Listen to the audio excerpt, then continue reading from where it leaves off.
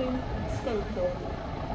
Forward Kirk Sandall, Hatfield and Stainforth, Thorne South, Crowle, Althorpe and Scunthorpe. Penalty fares apply on this service.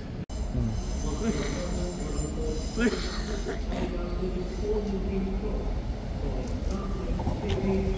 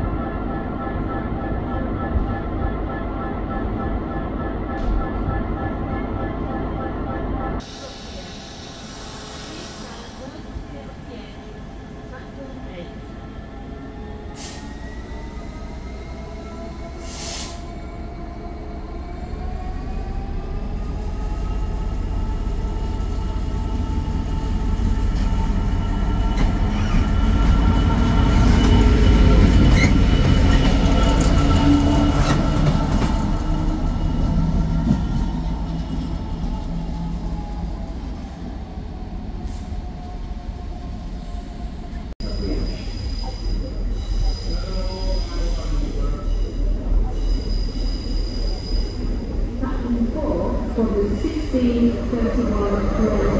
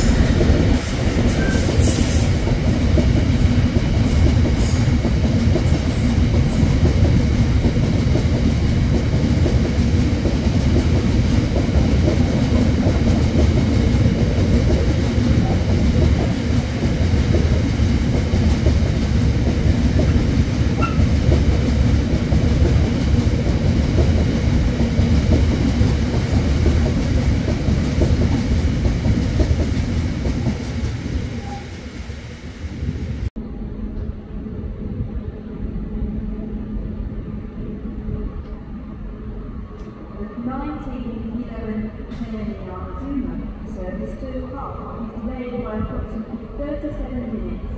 This is due to a fault on this train, which is now fixed. We're sorry that your journey will take longer than planned.